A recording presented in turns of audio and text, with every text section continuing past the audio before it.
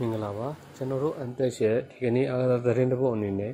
ဘာစီလိုနာနဲ့သဘောတူစာချုပ်ချုပ်ဆိုနိုင်ပြီဖြစ်တဲ့မန်စီးတီးအသင်းရဲ့ထိပ်တန်းတိုက်စစ်မှုစာကြီးတို့ကိုရိုအကြောင်းကိုတင်ဆက်ပေးသွားမှာပဲဖြစ်ပါတယ်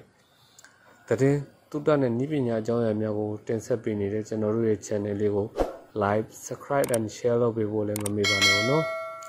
Manchester City ရဲ့ဆယ်နှစ်ကျော်ကာလအတွင်းမှာရလတ်မှတ်တမ်းကောင်းတွေအများပြားရရှိခဲ့တဲ့တိုက်စစ်မှုကြီးအကူရိုဟာ ဘာစီလိုနာအသင်းရှိသို့အလွတ်ပြောင်းရွှေ့ခြင်းနဲ့ပြောင်းရွှေ့ခဲ့ပြီးဖြစ်ပါတယ်။အသက်32နှစ်ရှိပြီဖြစ်တဲ့အာဂျင်တီးနားတိုက်စစ်မှုဟာချဲဆီကိုရှုံးနိမ့်ခဲ့တဲ့ချန်ပီယံလိပြိုင်ပွဲအပြီး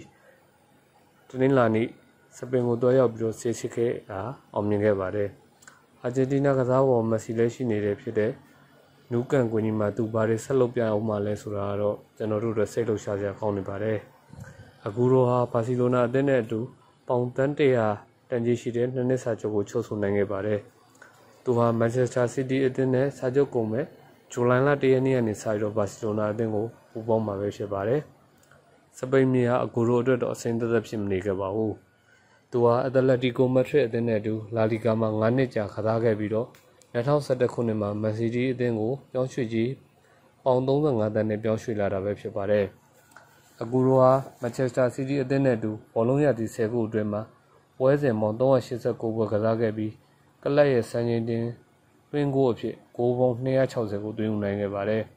။အောင်မြင်မှုတွေအနေနဲ့ကတော့ပရီးမီးယားလိ6ကြိမ်ပါဝင်ပြည်တွင်းဖလား19ကြိမ် UEFA တစ်ကြိမ် UEFA စူပါကပ်တစ်ကြိမ်ရရှိခဲ့ပါတယ်။အခုတော့ဟာပရီးမီးယားလိနောက်ဆုံးပွဲဖြစ်တဲ့ Everton အသင်းကို9-0နဲ့အနိုင်ရရှိခဲ့တဲ့ပွဲမှာ